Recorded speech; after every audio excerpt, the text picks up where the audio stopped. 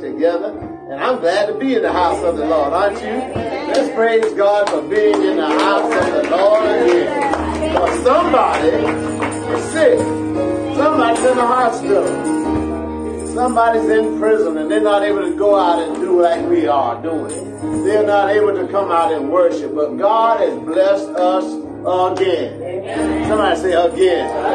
And we are clothed in our right mind. We have health and strength. And we are able to come out and worship the Lord. So God bless you. Thank you for joining us again this morning. Those of you that here in the sanctuary, we thank you for being here. And those of you that are watching us virtually, we say God bless you. And again, thank you for tuning in with us this morning. God is good. He is faithful. Amen. And I tell you what, there's so much going on in the world. If you don't, if you're not, they had that little song said there's a storm out on the ocean and it's moving this way. If your soul is not anchored in Jesus, you might slowly drift away.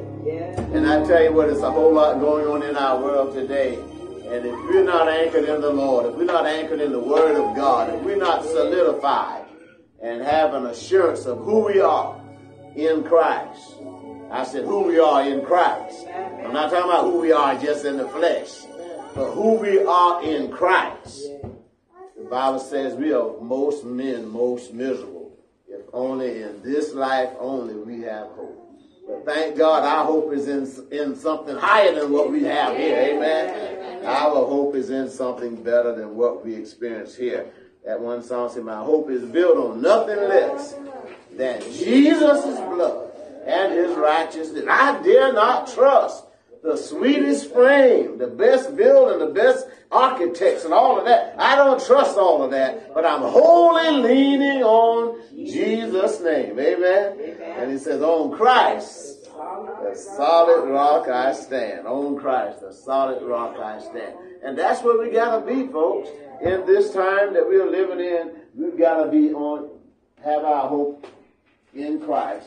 Because that's the solid rock. Tell you, that's the solid rock. Amen. That's the solid rock. And there's another little hymn I want y'all to help me sing this morning. It's called At the Cross. Since we're in Lent, Lent season, we're still in Lent season. And uh, I want somebody to help me sing because it was at the cross. Somebody say, At the cross. You know, it wasn't through the bank account, it wasn't through my uh, rich neighbors and family. It was at the cross where I first saw the light. God bless you guys, and we want you to help me sing a little bit of that. Because it was at the cross where I first saw the light. And the burdens of my heart rolled away. It was there by faith I received my sight. Now I am happy all the day. Y'all help me join in. Let's sing it together. At last, and did my Savior believe, and did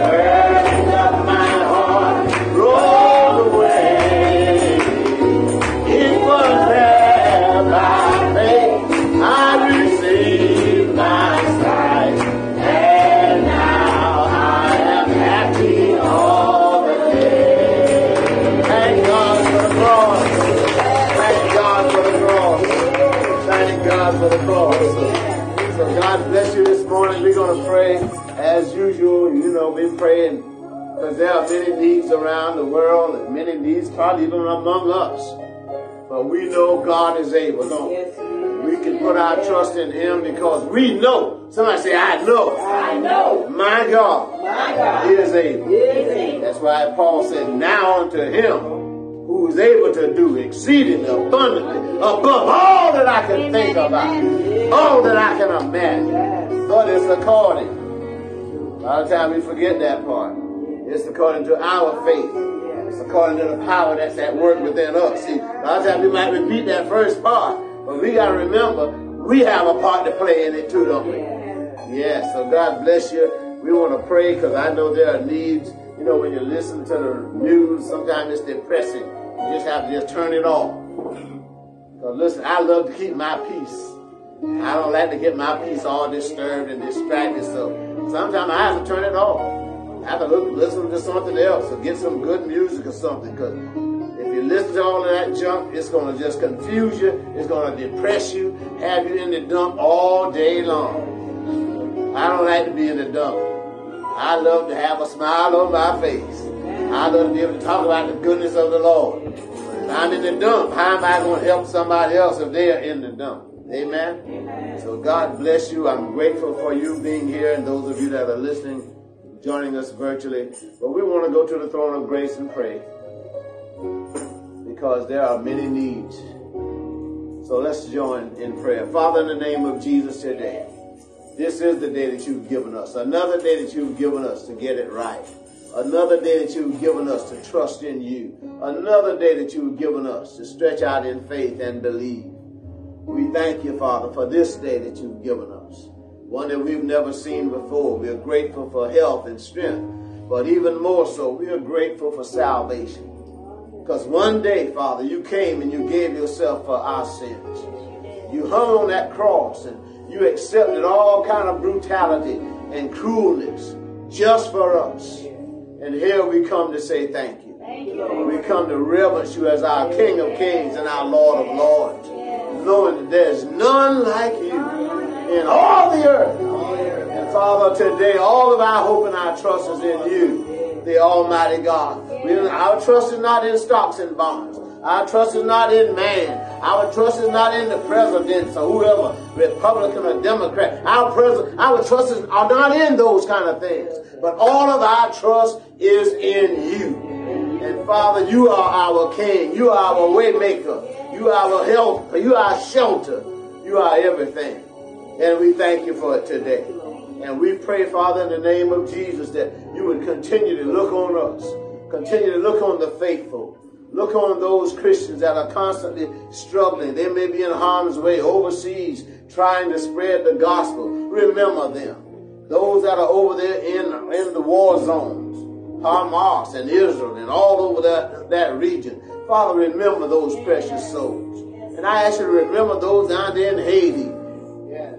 War torn and, and violence wreaking the country. Lord, remember them and give us a heart of compassion. Give our president a heart of compassion to remember and extend a helping hand. In the name of Jesus. You said it's our job to look out for the widows, look out for the little, the, the one that can't look out for themselves. We ask you to intervene in the name of Jesus. And Father, I pray that you would look on us, even among us, There are those that have experienced grief and heartache. There are those that have experienced pain as a result of losing a loved one. And again, Lord, as we do every week, we pray for those. We pray for my friend, Brother Fred, and Miss Jeannie, Father. He's got a, he's been walking that road, Lord, humbly, and he has submitted to the, that assignment. I ask you to have mercy on him. Have mercy on Miss Jeannie. Let him hear your voice. Let him be saved in the name of Jesus. I pray for my friend, Brother Scott Doherty, and Miss Marisol, his wife. And I ask you to have mercy upon them. He too have been holding that line. He's been toeing the line, Father, ministering to his wife and being there for her. And I pray that you would be merciful unto them. Have mercy, Father. Have mercy. Somebody say, have mercy, Lord. Have mercy, Lord. And Father, we pray that you would continue to look on our friends there in Alabama continue to heal their hurts and their wounds after the result of a loss. Remember our friends and cousins there in Savannah, Georgia, who've experienced great loss. I ask you to heal their hearts. Comfort them in those times when they're hurting, when they're sad. Lift them up in the name of Jesus. And I pray for even our family, the common family that have experienced a loss. We pray that you would continue to look on that family, heal their hurts, comfort them in those times when they're bereaved and hurting. Even their his precious wife, I pray that you would comfort her, strengthen her in the name of Jesus, and cause that family to look up to you, Lord, because you are our only help. We pray for the Lowe family, Father, in the name of Jesus. That great saintly mother, Lord, is in the hospital now, I believe, still. And we know that you hold her in the palm of your hand but not just for her, but for the family, Lord, and those relatives and family members. We pray that you would comfort them, that you would heal their hurts. And God calls them to reach up to you and trust in you, knowing that you are the God that gives life and you can take it away. But it's okay if you call us when our heart is right with you. It's okay when you call us when we, it's well with our soul. So, Father, look on that family. I pray for healing. I pray for comfort. I pray in the name of Jesus that you will help them one by one, name by name, that you will speak to their hearts and let them know everything is going to be all right. I pray for my friend, Brother Moses Wilcox, there in Georgia. Pray that you will continue to help him to hold on to your hand. Let him keep the faith. We pray, Father, for our Navy friend there in Alabama, Brother Cleveland Ewing and his precious wife, and those there in Alabama. We pray that you would continue to strengthen them. Let them know that you are with them. Even though the enemy is all around us and sometimes things look like they're going to fall apart, we know that you hold us in the palm of your hand. And we can rely and trust on you, the Almighty God. We trust in you, Father. And even among us here, there may be situations and circumstances that only you can work out. We pray that you save and deliver and set free. Save sons and daughters. Save nieces and nephews. Save those, God, that maybe have wandered away and look like they have no way of returning. Save them, God. Cause them to hear the word of God. Cause them to run into somebody that will share the good news of Jesus Christ. And as a result, let their hearts be changed before it's everlasting too late. And then, Father, right here among us, we pray that you will continue to look on us as we spread the word of God. Continue to look on us as we share the good news of Jesus Christ. Have your way in this place. Have your way in our hearts. Let your word fall on tender soil, tender hearts. And as a result, God, let it bring forth much fruit in our lives. In the name of Jesus. So now we bind the hand of the enemy that will come to distract us. We bind the hand of the enemy that brings confusion and chaos. And we speak now that the peace of God that passeth all understanding will guard our hearts and our minds now as we're getting ready to hear and receive the almighty, all-powerful seed of the word of God. We pray for these that are here. Let your word fall on good hearts and tender soil. And as a result, bring forth good fruit. We pray now, Father, that the words of my mouth and the meditation of my heart will continue to be acceptable in your sight. For again, you are my strength, and you are my Redeemer. And we ask this in the precious name of Jesus. And can we say amen? Amen. Amen and amen. All right. God bless you this morning. Again, we thank you for joining us this morning. And to our friends watching virtually, we ask you to uh, call your friends. You know the routine. Call your besties and let them know that your favorite pastor is back. Amen. And he's got a word just for you to encourage you, to inspire you to expect greater in your life. Amen. So I want to call your attention to our scripture reading for today. And I'm going to St. Matthew's chapter 16. This is a very familiar uh, passage for most Christians, I think. St. Matthew chapter 16.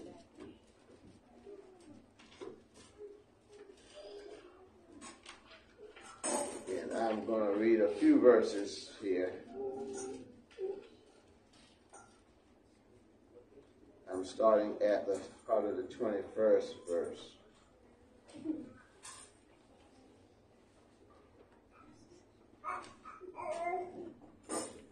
My subject today is the Christ revealed.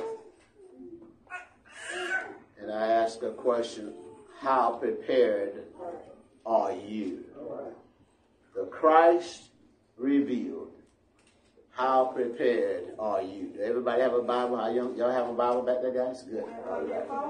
All right. Good. All they got the word right there. So we're at St. Matthew 16, and I'm going to start reading at the 21st verse. Anybody that don't have a Bible, we got some here, and can, we can share. All right, starting at the 21st verse. Y'all ready? Please read silently as I read aloud. From that time forth began Jesus to show unto his disciples how that he must go into Jerusalem and suffer. Somebody say suffer. Many things of the elders and chief priests and scribes.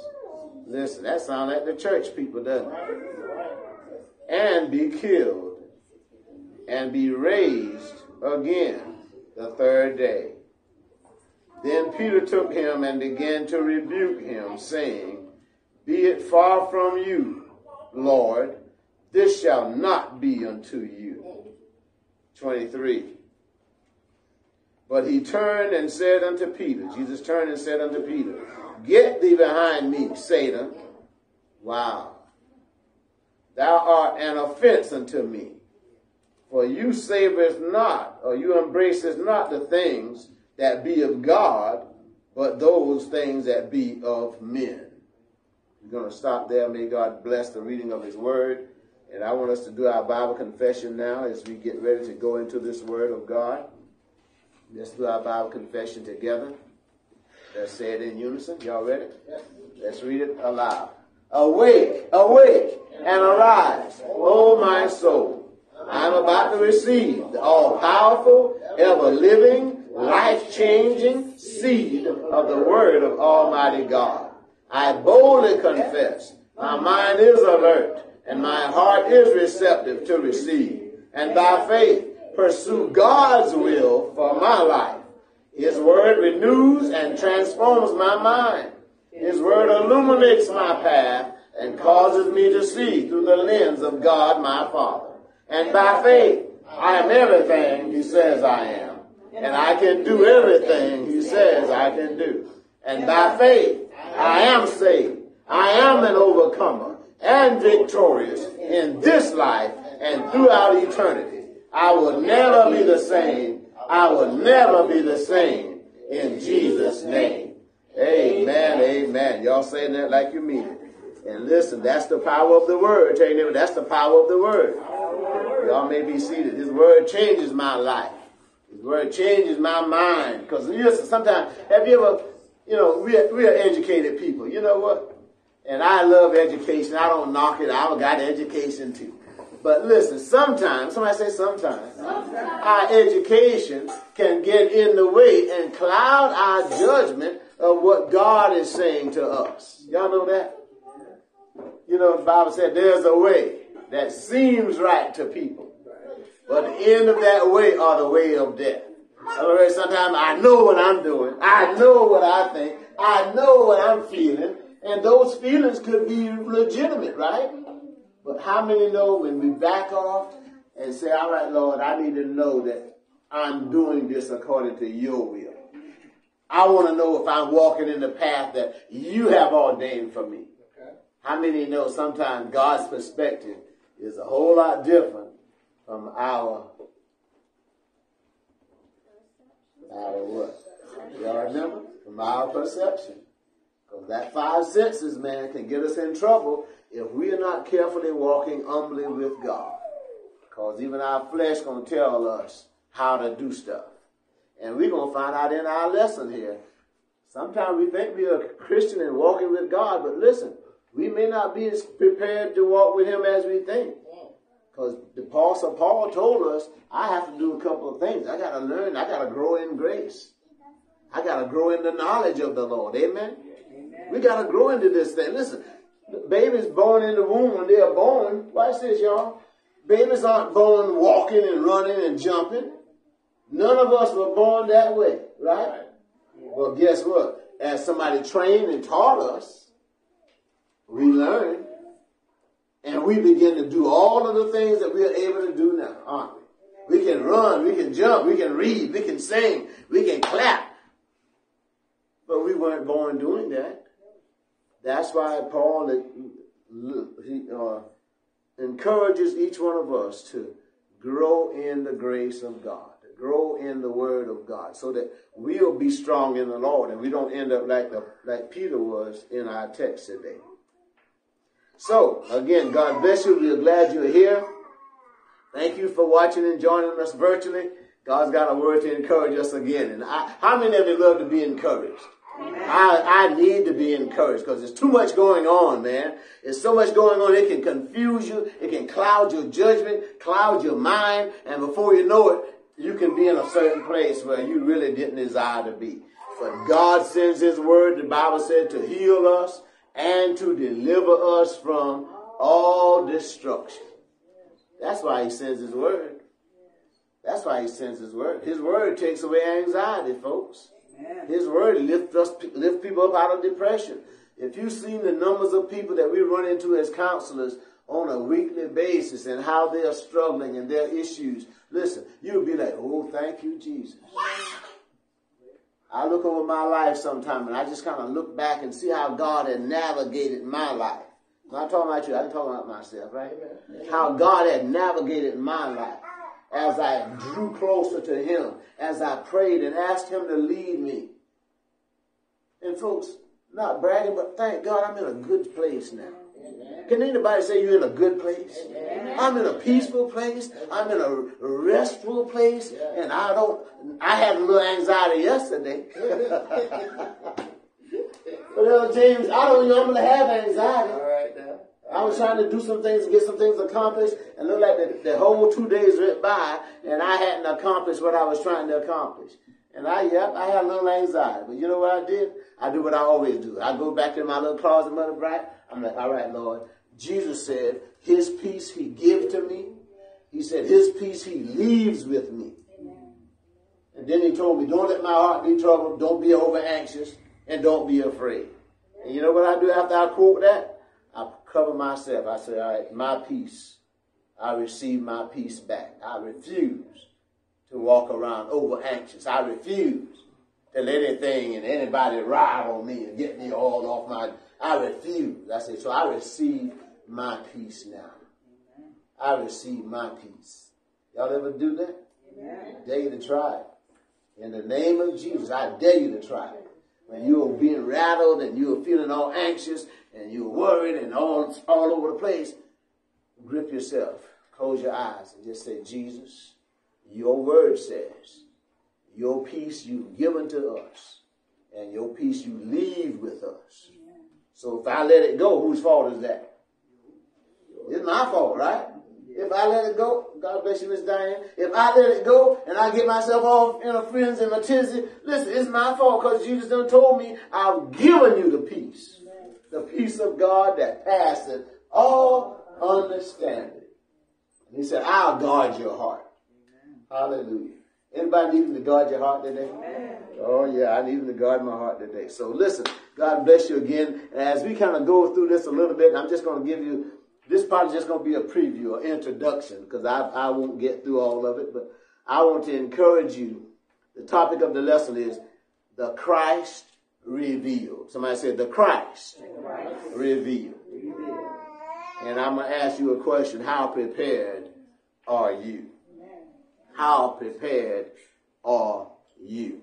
As we approach the time of the year when Christ would be crucified and resurrected, there would be a great divide. Somebody say a great divide. Not only did the carnal mind struggle with the strange news, but the Christian community would also experience an uproar. Because sometimes, I say sometimes, sometimes, the Bible says it this way, let us take heed to the things that we hear, lest at any time we let them slip by. then he said, there is a way that seems right to us, to a man, but the end of that way leads to death. Amen? Amen? So as we look at this scripture today, I want us to keep that in mind.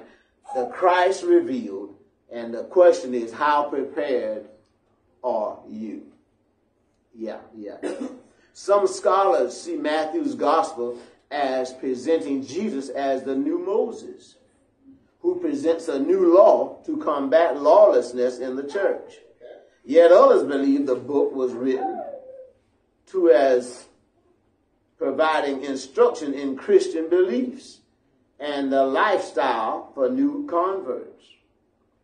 And yet others see this book as Matthew providing a theological foundation for the mission to the Gentile community. But more than that, all of these are may be correct to some degree. But more than that, the book of Matthew is a story about Jesus the Christ. Somebody say it's about Jesus. Not only does this book depict Jesus' journey to Jerusalem, where he would suffer, die, and be raised again, but also provides an explanation of the necessity of this journey.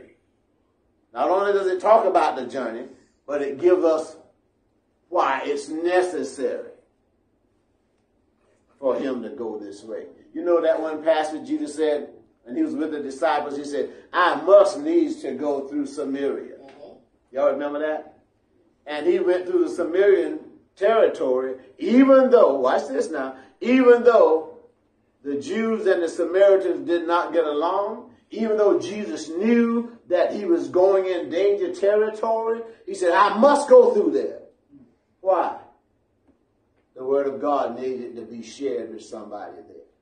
And y'all remember what happened when he went there and he sat there by that well? And that woman showed up, that Samaritan woman, and she started questioning him.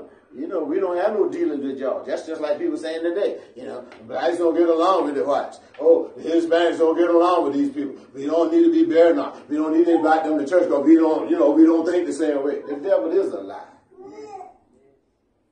That's the same way they were thinking in the scripture.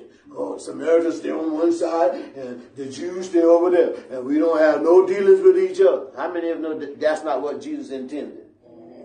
That's not what he intended. He intended us to grow together in the word and in wisdom and be able to at least get along with one another. Amen. Amen. You don't have to see everything that understand everything the way I understand it, but we ought to be able to come to some common ground and get along. Y'all hear me?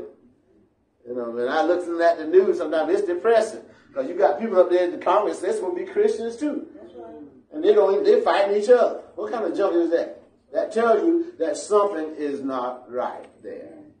Amen. Amen. All right, so I'm moving on. Somebody said, "Move on, Pastor." Yeah, so those scholars, even back in Jesus' day, the scribes and the Pharisees and the Sadducees, they all had their view of what the church should look like. They all had their view of what should be going on and how the law should be written and how it should be ran, right? But Jesus came with a different message. And they fought him for having a different kind of message. Amen? Amen? So watch this. The nature of Jesus calling as the Messiah, and the book draws out the implication of the passion Christ has not only for disciples, but for people in general. His passion drew strong and immediate rejection from Peter. We just read that passage, right? when Jesus told them how he was going to have to go through Jerusalem, how he was going to be beaten and hung on the cross and crucified. Peter, and we say Peter because Peter spoke out, but guess what, folks? A whole lot of the other folk that was with him probably felt the same way. They just didn't have the nerve to be vocal about it.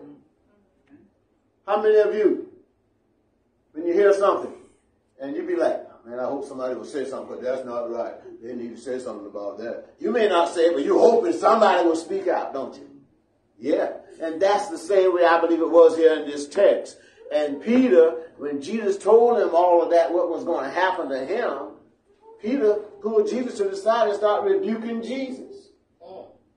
He started rebuking Jesus. Why would he do that? You think he was doing that because, oh yeah, I, I don't, I hate him. I don't like Jesus. No, no, no. He wasn't rebuking him for that reason.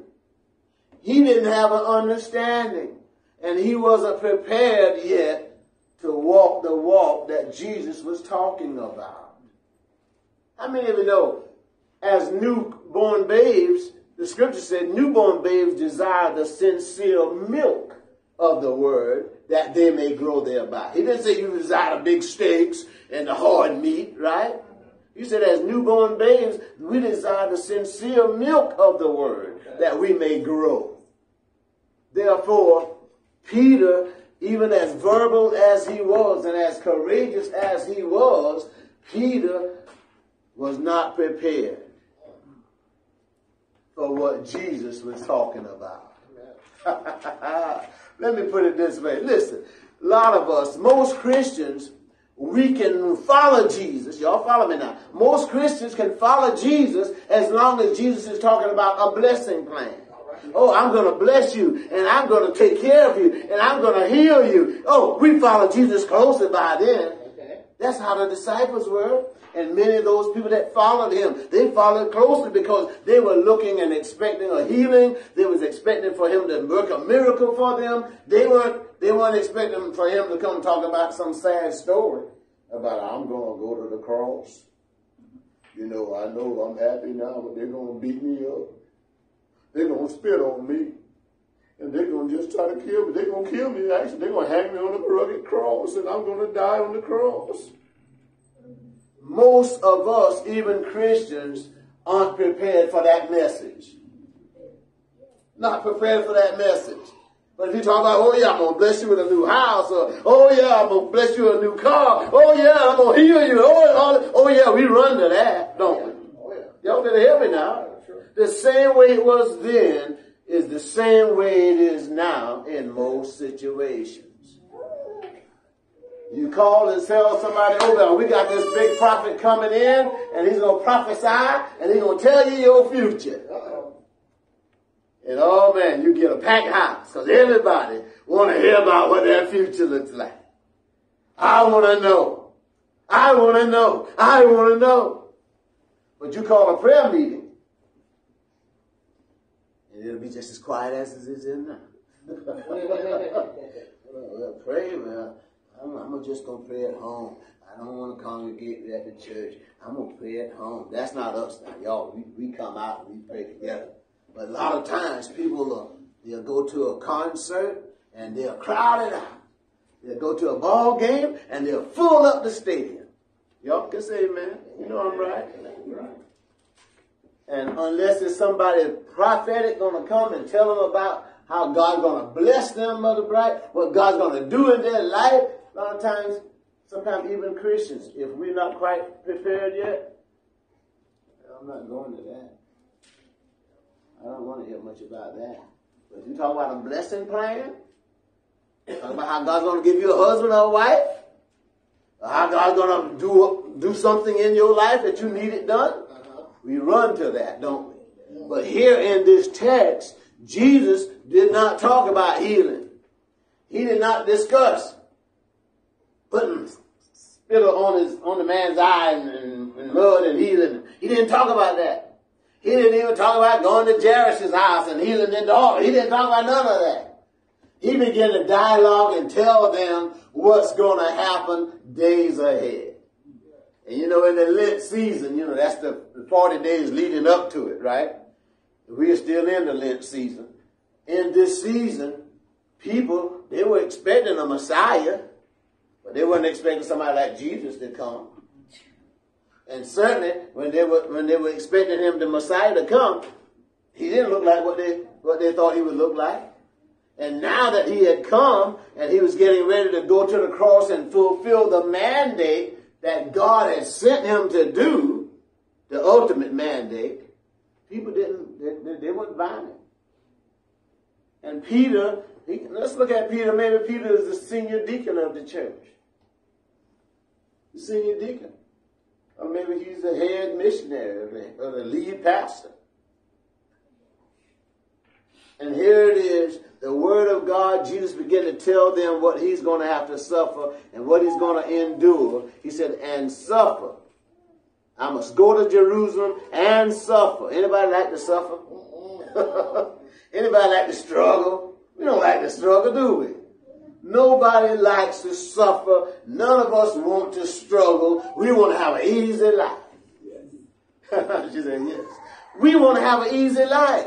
But how many of you know the road to victory, especially in this kingdom way, in one way or another, going to lead to some kind of suffering? I said the road to victory in this kingdom journey that you and I are walking on, in some fashion or form, going to lead and deal with some kind of suffering. y'all stay with me there on virtual. Stay with me here. I'm going somewhere with this. But listen, when you talk about, you know, I go to the gym now. I'm trying to get back on track, trying to keep my body in shape and stuff. And we said we're going to try to, my wife and I, we're going to try to go at least three times a week, Monday, Wednesday, and Friday. And how many of you know sometimes that don't happen? Sometimes that don't happen. But listen, we go there, and Brother Chase, we go in there, and I'll go in the little section where they lift some, some weights, and I may start lifting some weights or whatever. May do some little curls with my legs and all that kind of stuff. But listen, if I would leave and not accept the pain that go along with that, okay. you think my legs will get stronger? No. I won't get any stronger. I'll just be saying weak legs like I always had, man. Think my arms are getting any stronger? As soon as I lift up, oh, they're too high. Oh, that hurts. And I go home and, oh, yeah, it hurts my arm. Well, I'm not going back. You think my arm's going to get any stronger? The same way it is in a spiritual journey. When we start walking with the Lord, sure, God loves us. He promised that He's going to be with us all the way. But listen, a part of the uh, success in this journey going to have to deal with some struggle. Even if it's a struggle with addiction that you have. Even if it's a struggle where I'm struggling with some kind of uh, sickness that I have. Listen, sometimes you're going to struggle with that before you get the victory. Now, why do I need to struggle with it if Jesus can just touch me and I'll be healed? Sometimes, and I said sometimes, just like that man came to Jesus and he said, Good master, what must I do to be saved? And the Lord started telling him, You know what the commandments are. And he said, You know what he said? Good master, I kept all of them. I know about all of them. I've been doing that since I was a kid. And then Jesus got to had the caveat. You know what Jesus told him? He said, Okay, good. Now go and sell that you have and give to the poor. Then you come and follow me. Now, why did Jesus tell him that? He don't tell everybody to sell all of their goods and give to the poor. He told us we need to look out for the poor, right? But he did not tell every single person that he healed, he did not tell them to go sell all your goods and give to the poor. So why did Jesus tell this man that? The Bible said because this man was hung up on his riches. He had plenty wealth and he was not sharing it with anybody. Remember that story? He said, he said, oh, my barns, my crops brought forth plenty, and I got a whole lot going on now. So what I'm going to do? He didn't say I'm going to go out and take care of some needy people. I'm going to go and help some of the widows. I'm going to go and help some of those poor people in poverty-stricken areas, the marginalized and all that. He didn't say that. You know what he said? I'm going to tear down these old barns, and I'm going to build bigger barns, and then I'm going to put all my goods in there. All my wealth, all my money, all my stock, all my bonds, I'm going to lay it up for myself. And then the Lord spoke. He said, Thy food. That's what the scripture said. Thy food. He said, This night your soul is required of me. Then he asked the question. So now, wherever all of these goods that you're going to store up for yourself, what's going to become of them? And the Lord went on to make that statement. He says, Blessed is the person that is rich toward God. That's where the richness comes in, isn't it? That's where the blessing comes in. Because listen, I know people that got money, but their mind is not right. I know people that have gotten worked hard and did a lot and did some good things, but they're sick and they've got some kind of struggle going on within them. Anybody know any people like that? Sometimes people do all they can to get what they think they need, only to come up empty and, and, and say, wow. Ask that same question that Jesus asked, what does it profit of man or woman to gain all of this but yet die and lose our soul. Y'all hear me? Okay, so watch this now. So then Peter, like many Christians today, was unprepared to accept the notion that the Messiah's glory would be achieved only through suffering.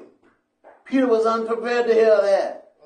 He thought Jesus was going to tell him some of this other great stuff. Oh, and what I'm going to do, and I'm going to rule, and I'm going to be the king, and all of that. And Jesus talking about, I'm going to have to go to the cross. I'm going to have to suffer. You say, nah, I know I won't let that happen to you, Jesus. Peter remembered when Jesus healed the blind person. He remembered when Jesus raised the people from the dead. He remembered Jesus showing all of this power. And now you're talking about you will let them take you to the cross and beat you and kill you? Peter said, not over my dead body it won't. and I'm paraphrasing.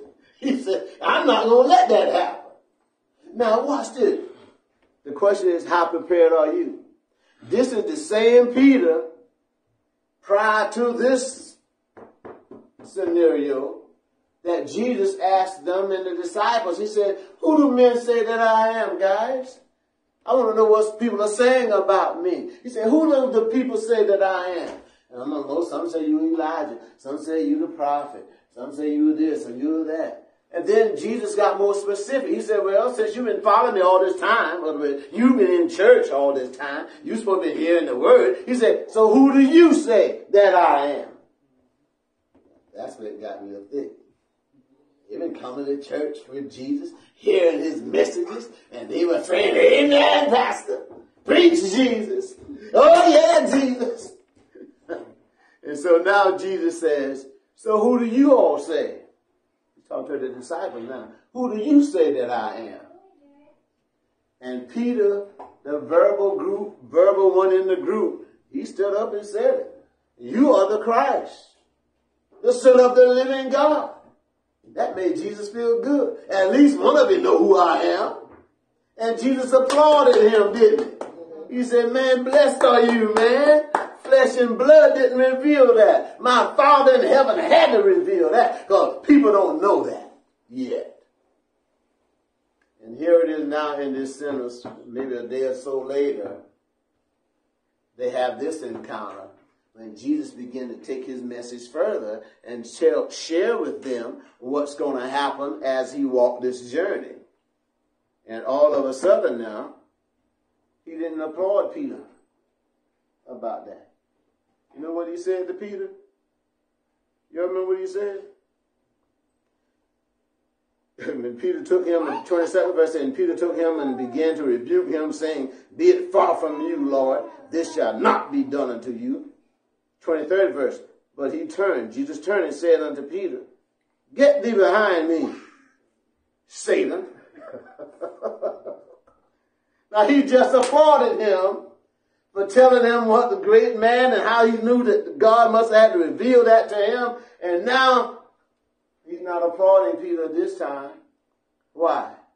Because Peter was not yet prepared. He had not grown to understand what this real Christian walk was all about. So Peter was like, This will never happen to you. I will not allow it.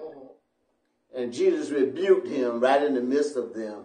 He said, Get behind me, Satan, because you are an offense to me. What does that mean?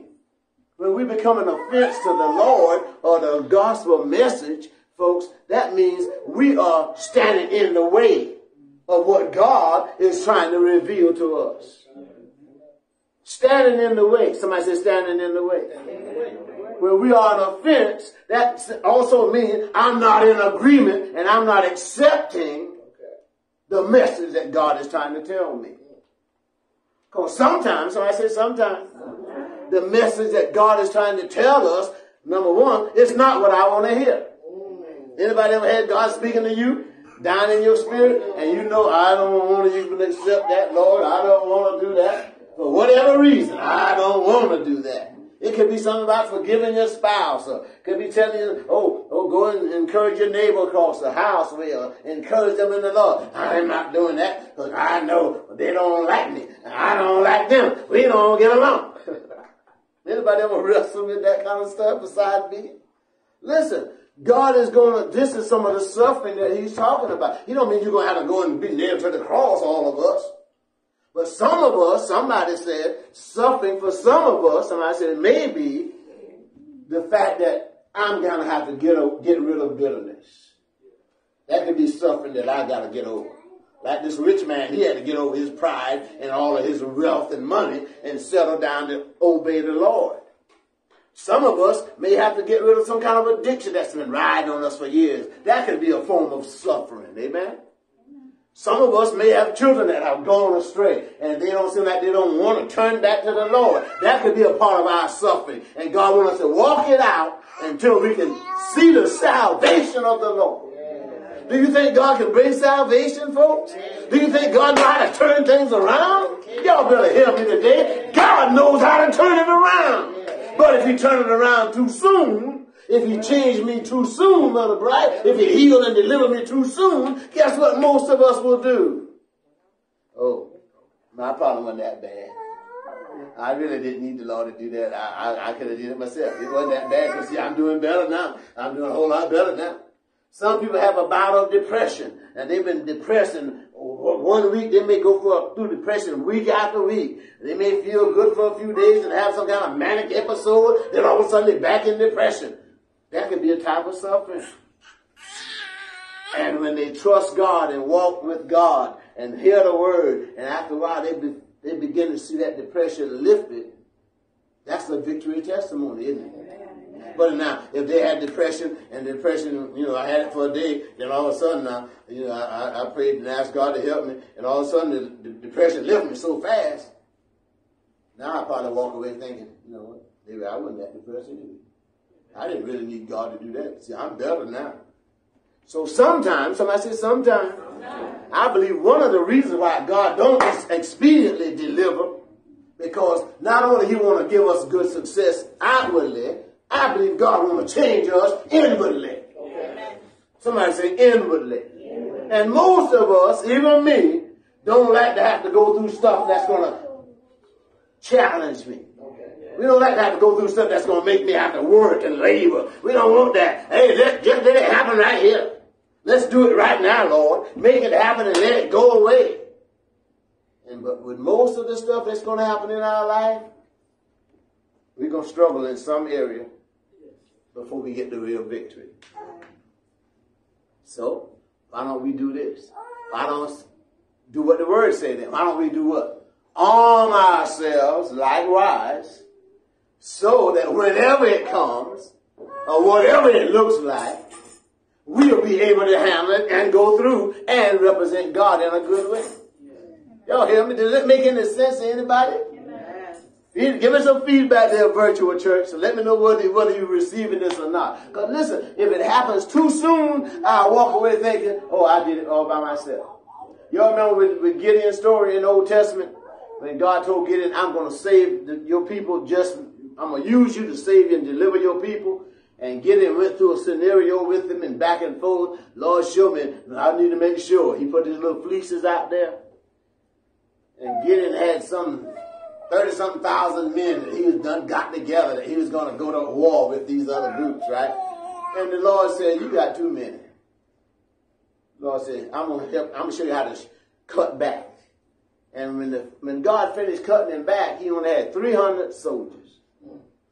And his other side, his opposition, had thousands.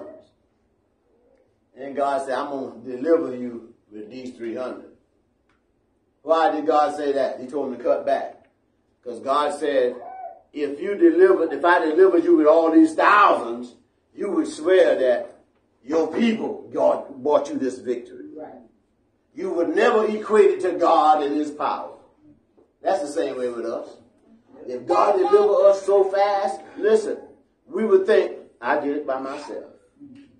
I didn't really need God to do that. I did it by myself. But God gonna do it in such a way that He alone gets the credit for what He's doing. Amen. So He wanted to show Peter that. Listen, He said, Peter, get behind me because your view, your perspective, your process, your your uh, what's the word? Your perception is not in alignment with my perspective. And sometimes, when I say sometimes, as we are new walking with the Lord, and even sometimes as, after we have been walking with the Lord, He's still growing us up. He's still maturing us, but sometimes we still don't have God's perspective about the Christian journey that we are on. That's why I ask you, are you prepared? Because listen, we're in the season of open doors. I told y'all, right? Prophetically, we're in the season of open doors. But guess what, folks? Open doors are good, right? Normally, when you hear that phrase, open doors, okay, yeah. But with open doors also comes some challenges. Oh, y'all don't believe it. Oh, no. Open doors means I'm going to have a, it's going to be really good for me. Well, it's only good if you are prepared. Don't move so fast. It's only as good as you are prepared. Because I've seen God open up doors and bless people to get in a good place. And they weren't prepared. And guess what happened?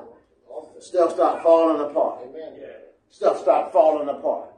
Give somebody the mate of their, the, the person of their dreams, the, the man of their, their life, and a woman of their dreams. And all of a sudden, I wasn't prepared for that, and I didn't want me to go to church every service, and I don't want to go. Now, the same thing that was a blessing ended up being a struggle. Why? Because I wasn't prepared. Oh, y'all better hear me.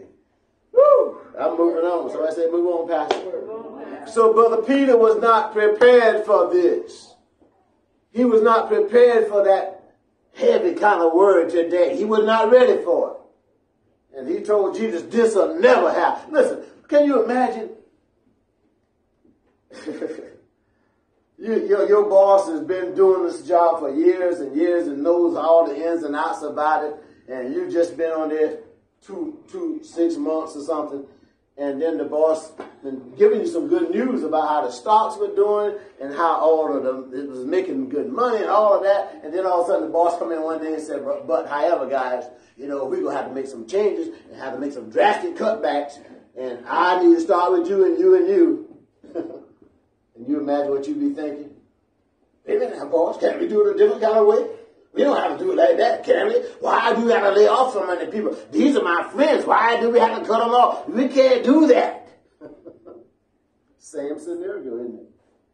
Sometimes, when I say sometimes, we are affected by the change that God will call us to make in such a drastic kind of way until we are not ready for it.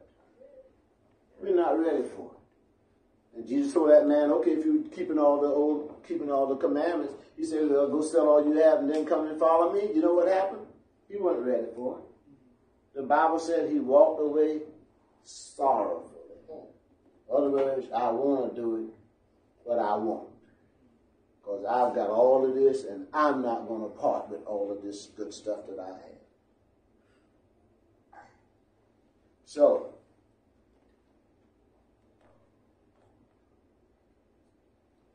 Second Peter 1 and 5 told us then, if we find ourselves like Peter and we're not prepared,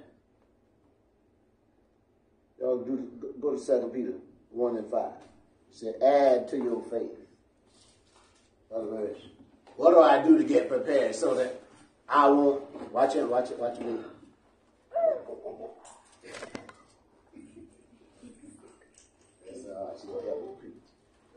Second Peter, y'all see it? Second Peter 1 and 5 say, add to your faith what? Virtue. Add to your faith virtue. In other words, pureness. And what else? Virtue, knowledge. And knowledge. I'm gonna add that to my faith now, because you know, without faith I can't please God. So the baseline is faith, but then I need to add virtue to it. I need to add knowledge. I got to keep on being in the Word and hearing the Word of God, hearing the Word in a, in a solid kind of way, so I can apply that Word to my life. And then what I got to add? Temperance. I got to add temperance. This Word is going to help me to govern myself. Somebody say it's going to help me with self-control.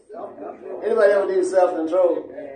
Because listen, sometimes, so I say sometimes, man, there's some people can rub your nerves so and get you all on, on frazzled until you lose your self-control. So he said, add to it self-control. Otherwise, even though I may want to I hold myself. Might want to say the wrong thing. Y'all ever had people pulling in front of you in traffic? Here you trying to get somewhere, you've been waiting in line, and all of a sudden somebody come from way behind you, and they see a little gap, they squeeze in. Anybody ever had that happen? And I know y'all be excited. Oh, it's okay. Praise the Lord. Yeah, right. You don't say no praise the Lord, nothing. You be probably about to say something else, man. You don't sit there in the traffic, and then by the time you get there, because they done pulled in front of you, then the light changed. Now you gotta wait another five minutes. so he said, add to your faith virtue, knowledge, self-control. Listen, tell you neighbor, that's preparing me. That's preparing me. That's preparing me, folks. As I take that word in and I'm asking God to help me, listen, God will put me in situations. If I'm impatient, He gonna put me in a situation where I'm, it's gonna work me and help me to grow my patience. Yes. I heard a pastor talk about that one day. He said he married a wife, good wife. She was a good woman, but he said, you know, he was he was a timely person. I'm kind of like me, I guess. He was a very timely kind of person. But he said his wife, she would tell him, "Okay, I'm ready in a few minutes." And at first he says, a few minutes turn into 10, 15 minutes, 20 minutes. He's sitting in the car waiting. And he said it would just it would just wreak him and just bother him because he was timely and he was trying to get the church and do whatever he's going to do. He's trying to do it on time. And he said, the Lord finally spoke to him. You know what? I'm trying to help you work on your patience because you're very impatient. And she being in his life caused him to have to slow down. So he said, now, when she said in 10 minutes, he just kind counted 30 minutes. And he just go ahead and do something else and just kind of chill and do something else to keep from becoming agitated or aggravated. He just learned, okay, she said 10 minutes, okay, it's going to be 30. So he'll do something else, read the scripture, or looking at the news, or do something different so that he won't be rattled. Why? Because God give him a good person in his life, but this good person also is there to help teach him how to have patience. I tell people, and I'm going to insert this parenthetically, listen, God does not match you with, up with somebody that's just as sharp with, as you are on everything. Y'all hear me today?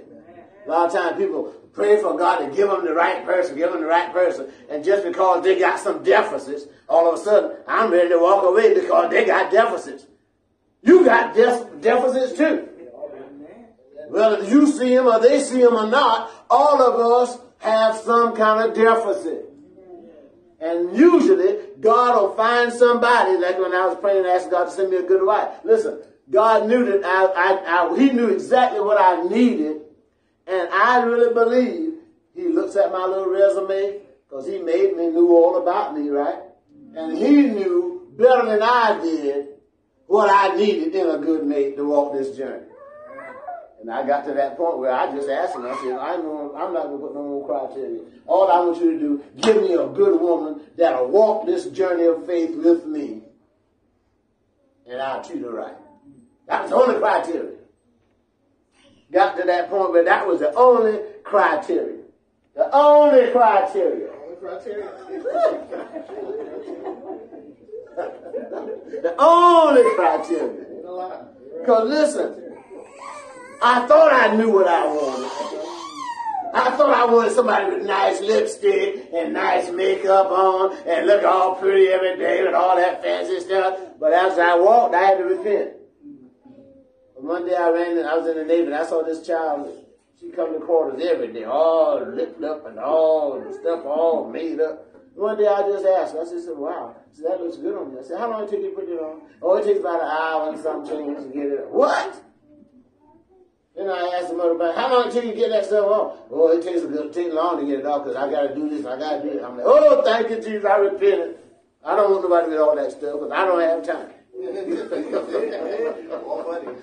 God give me a girlfriend, a wife that listen, when she want to go out and, and do something on a special occasion, she may jack up a little bit. I can deal with that. But every Sunday morning, I'm gonna have to wait out there for her to do this and do that, and child, I'll be bonkers. I just thought I'd insert that parenthetically, but I'm I'm almost done. Amen. But the bottom line is we have to ask ourselves, am I prepared for what God is trying to do in my life? And when I first started walking with him, chances are I'm not. And I admit it myself. Some stuff that God wanted to do in my life and he was trying to get me to certain points, I was not prepared and I'm not hearing that, Lord. One of those things was to preach. Y'all, I told y'all my story. I play my music, I sing and do all of that. And every time I turn, somebody said, he's going to be a preacher. Oh, he's the preacher. Oh, he's the preacher. And I'm like, no, I'm not. I'm saying that to myself. No, I'm not. but when God got me in that situation, and I thought things weren't going to work out too good, I repented and I said, yes, Lord, whatever you want me to do, I'll do. And I think that's where God wanted all of us. He wanted Peter to get there. I'll tell you about Peter later. He got there, but he wasn't there yet. So the second scripture I want you to look at 2 Timothy 2 and 15. It says something like, study to show yourself approved unto God. A workman, a work person that needeth not to be ashamed, but rightly dividing the word of truth. Or a study. Somebody say study. Study. Make sure that's what it says. Because a lot of times people think, I'm there, I'm ready. I'm ready for the blessing, Lord. I'm ready for all of that, Lord. And God said, No, you're not. You're just like Peter. You got some things already done, but you're not ready for this for what's going to come. And God wants to prepare us so that when He open up the door, when He give us this thing, uh, bless us in this way, we will glorify Him and not make a mockery of the kingdom. Amen. Amen. Oh, yeah. Last scripture I want you to look at. 2 Corinthians 4. This is the preparation. After we have been prepared, we can be willing to say what Peter, what Paul said in 2 Corinthians 5 through 12. He says, I'm, been, I'm persecuted, but I'm not forsaken. See, that's takes some growing to do before we get to that. I can accept persecution, but I know you haven't forsaken me. Sometimes I'm cast down. People talk about me, say ugly things about me, but I don't, I don't let it destroy me. Brother Caleb, I don't let it destroy me.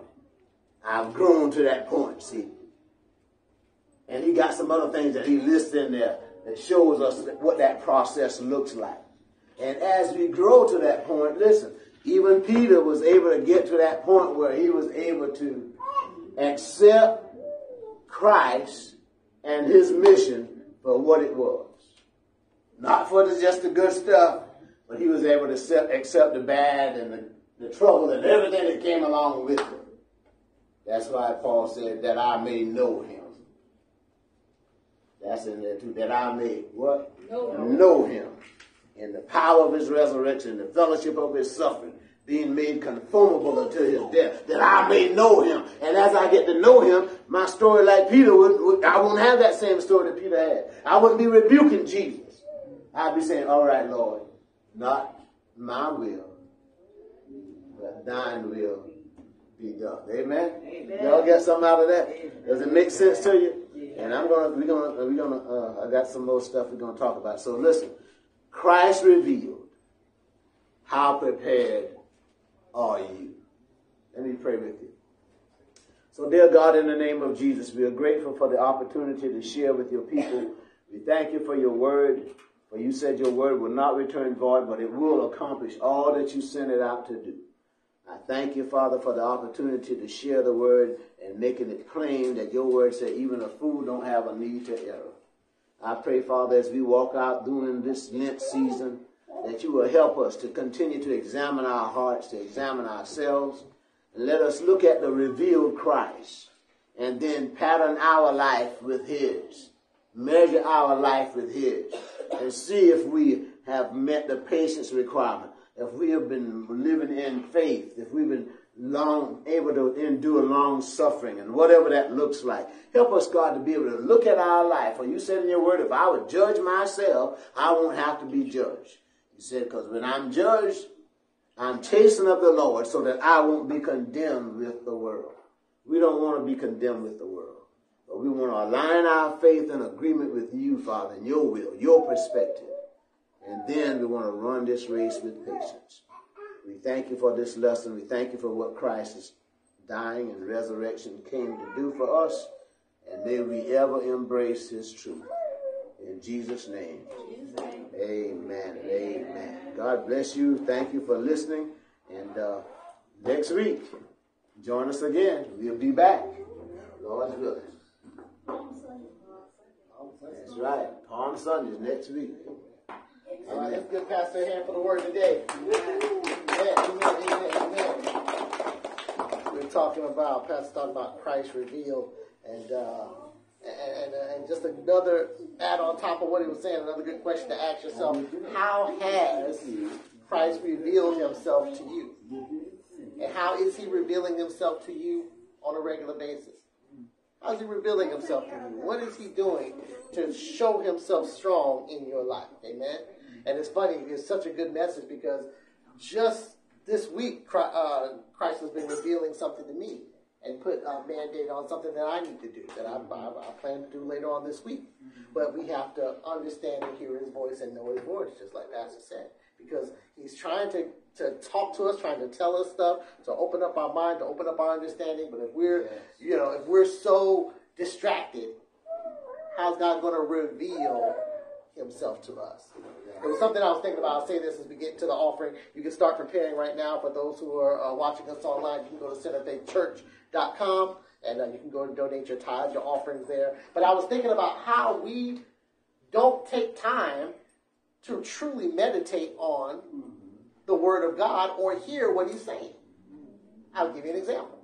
We go to the gym. That pastor give a good example. Go to the gym. I don't know if Pastor does this. I know sometimes I go to the gym and most people have on their headphones.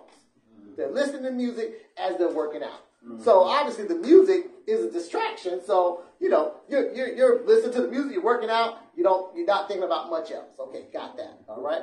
Um, you go home and you're sitting on the couch and you're you know trying to relax and quiet, but what do you end up doing? Turn the TV on, maybe. Maybe turn the radio on. Maybe start scrolling on your phone. Okay. Once again, that's a distraction. That's not. So if all this distraction is going on, you're not thinking, you're not meditating, or you're not, you know, thinking about the word or what, or, or, or God's trying to speak to you. You can't hear him because you got all that distraction. You get ready to go to bed. All right, go to bed. So instead of just laying down in silence and thinking, what do you do? You turn the TV on. All right, turn some music on on your phone or, or, or Spotify or something like that. We spend a lot of our time distracted to where if, if God is trying to reveal himself to us, how's he going to get through to us? You're steadily listen to your phone, listen to the music, and listen to this. All that's good in its time, but when do you spend time in just silence? And just give God time to talk to you. God, what is it that you want to reveal to me? I'm going to sit here in silence, and I'm going I'm just going to meditate on you and your word, and I'm going to let you speak to me. But he's trying to speak to you over the radio, over the TV, over what you the, the podcast you're looking at on your phone, and over this and that. And now it's harder for him to reveal what he wants to reveal to you. So another thing that I've started doing is I, I, I, like to work out, like Pastor says, but but when I do my, my job, when I do my cardio, I try to do that without any music or without anything. I've got this nice little trail behind my house. I'll run that trail with no no noise, no sound. I just if God, if there's anything He wants to tell me, this is a good time because I'm giving God time to reveal it to me because all the distractions are gone.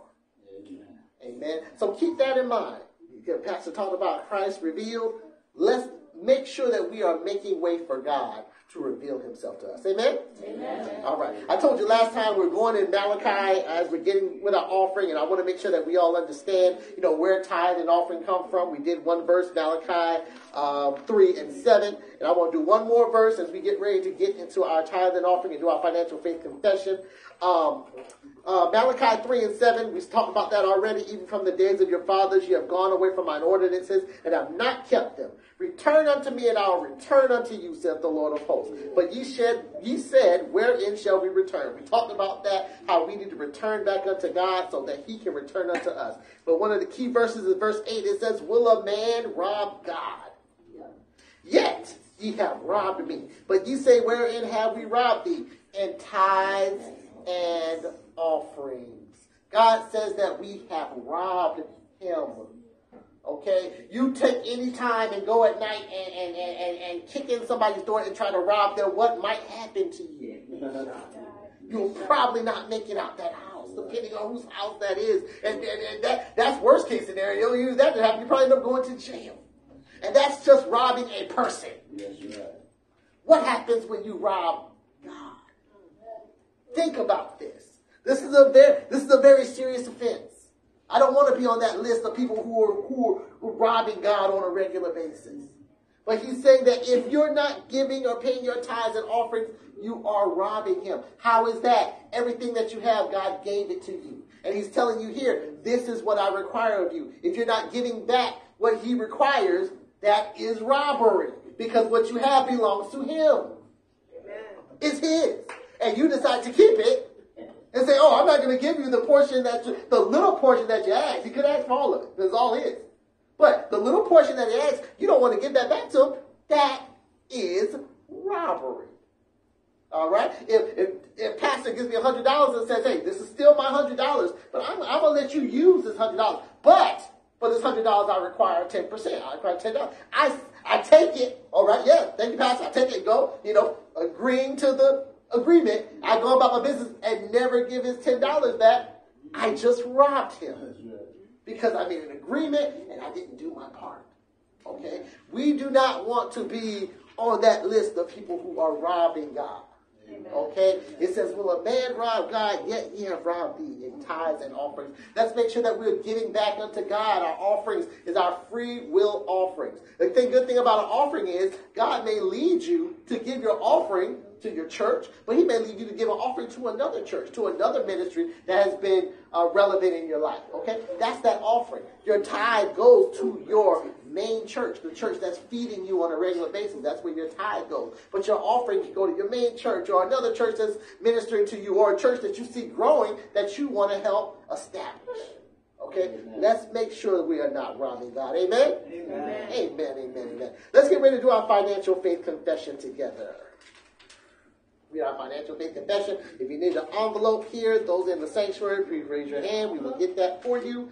Centeroffaithchurch.com for our um, uh, our members that are online. Let's read our financial faith confession together. My heavenly Father, I now purpose in my heart to offer my financial gifts willingly, cheerfully, and generously as an act of my obedience in support of your kingdom.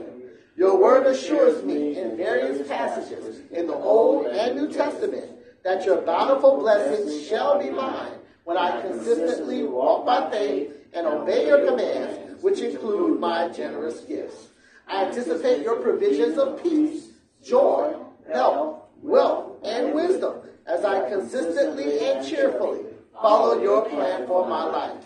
I believe your word, and I ask you to manifest yourself in my life as I am a doer of your word and not just a hearer.